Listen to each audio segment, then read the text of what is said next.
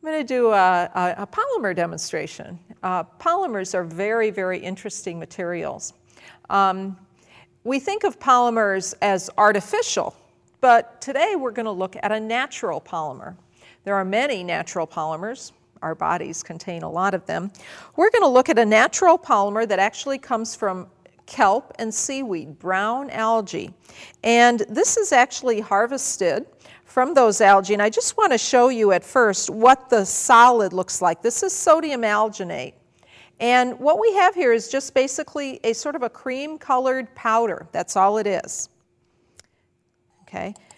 That's called sodium alginate. Now, when you add water to the sodium alginate, what you get is a very thick, viscous liquid, a gel. Basically, what happens is that that polymer absorbs the water and forms this swollen network. It's not a solution, it's a gel. And if we look, and I've drawn some up, but it still flows. Now, what I'm going to do is take that sodium alginate, which again is a natural polymer, comes from kelp and seaweed. I'm going to add it, first of all, to some calcium chloride solution.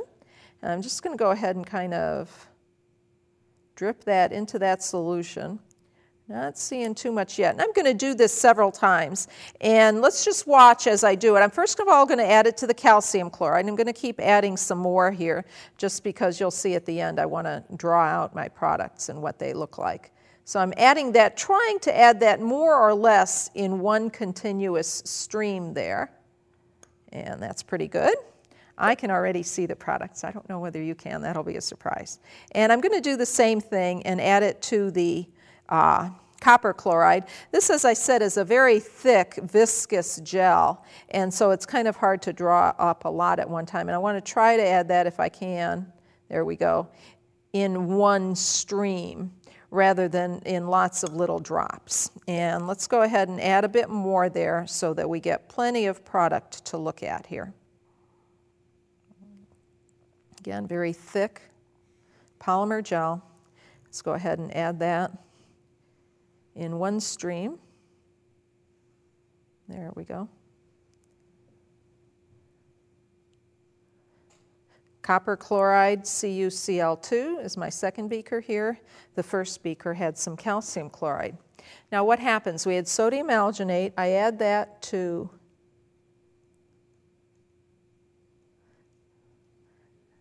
the calcium chloride and I essentially get what I affectionately refer to as the gummy worm polymer. Remember, this is a natural polymer. I'm going to go ahead and put that in that dish here, and we'll, we'll take a look at that later. There's actually another one in there. I might leave that in there for now. It's kind of a, I'm going to see if I can get it as one worm. There it is. Is that a good picture of that? Okay, we've got some calcium alginate being formed there. We're going to talk about what happened. But before we do that, let's take a look at what they look like in the copper chloride solution. And again, I'm going to try to get one at the end here to see if I can get a chain. That's pretty good. I pretty much got one really long one there and it's bent up over itself. Can you see that that one is blue? What does that blue color indicate? Well, it indicates that the copper ions have actually been absorbed into the polymer gel. And let's see if I can get one of those because I know it's, it's, it's a couple of different chains. Oh, there we go. kind of entangle that mess. Oh, there we go. That, that'll be good. There's still another one left in there. That's actually one gummy worm polymer. That's what I call them. Okay, so that's the blue one, and we can go ahead and just put that in the same uh, beaker there. This is a natural polymer, it's non toxic. Okay, let's talk about what's happening. First of all, let's talk about the uses. Sodium alginate, you get, they harvest about 25 million pounds a year of this from the giant kelp and seaweed. What is it used for? It's used as a natural food additive. What do you suppose it would do to food? and some of you are going, no, I don't want that. Okay, it's a natural food additive, though. It is used as a, what did we say? It was thick, right? It's used as a thickening agent. They add it to ice cream, to yogurt, to cake mixes, a variety of other products. What does it do? It thickens it and makes it smooth and other things. And so it's a natural polymer, it's a food additive, what else can it be used for? Well, let's talk about what happened here. When I added this gel, the gel is a liquid. It is not a solid, okay? I mean, I can pour it out of that. Okay, I mean, so it's a very thick liquid, but it is a liquid nonetheless. Okay. What happens when I add sodium alginate to calcium chloride? Well, calcium is a divalent cation, Ca, Ca2+. Basically, the alginate is an anionic polymer, a very large organic molecule with negative charges all along the ring.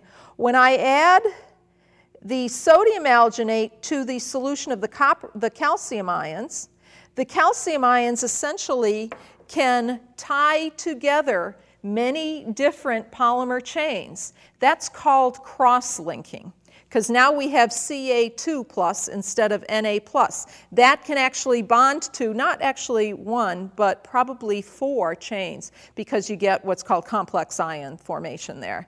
But in any event, what happens is when you start tying together those chains, you essentially get an insoluble product. And so let's take a look at that calcium alginate here, our natural gummy worm polymer.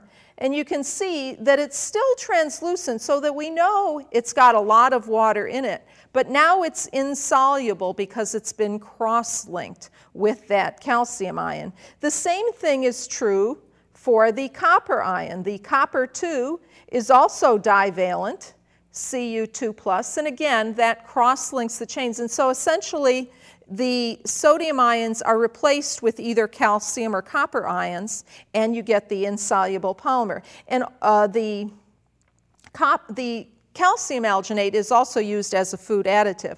Now, what I'm going to do is I have another one in here, and actually, I'll take one of these, I think. Okay, we got that. That's our copper alginate now. And I'm going to add it to the sodium chloride.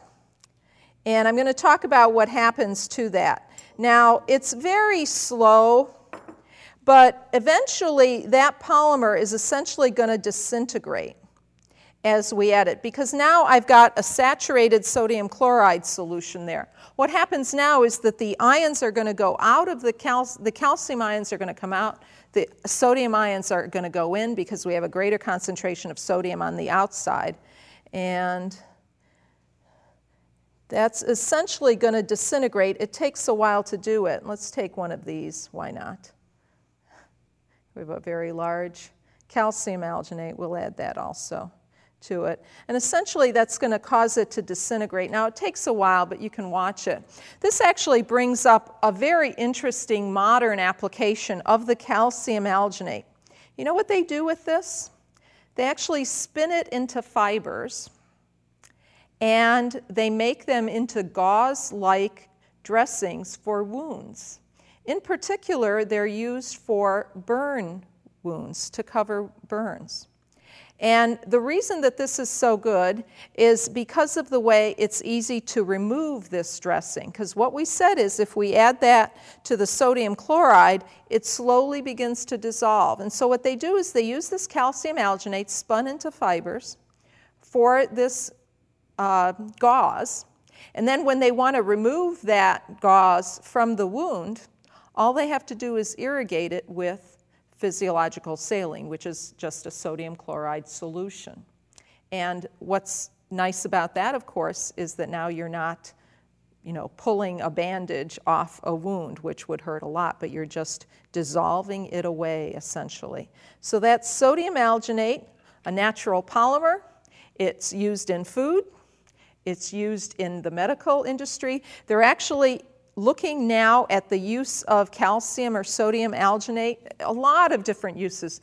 They're looking at it to encapsulate drugs for delivering drugs to the body, so modern uses. They're also, and this I found fascinating, um, you know how in this case it reacted, and I've got to add another one in there, I suppose. Um, basically, it uh, we, we pr- showed that it uh, picked up the copper ions from that solution. Let's see if I've got another one in there that I can get now. There we go. Okay. um, it basically, the polymer has absorbed the metals. They're actually using, looking at seaweed to clean up aqueous solutions to remove and remediate by removing, let's say, iron ions or other ions from water simply using seaweed, which, as we know, is the source of the sodium alginate. So, um, a very interesting polymer, I think, with a lot of uses, and again, a lot of uh, interesting things for students to research because there's a lot of work currently going on so that students can learn about some of the modern uh, chemistry that's being done in a variety of industries.